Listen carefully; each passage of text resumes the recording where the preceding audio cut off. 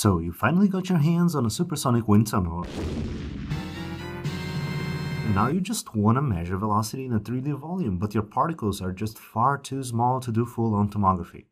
But that's okay, because you can just use two cameras and still reconstruct the 3D average flow with a scanning stereoscopic PIV system. If you're scanning as you run the tunnel, then you can do the whole volume on a single pass and avoid variability between runs at the sacrifice of convergence of your statistics.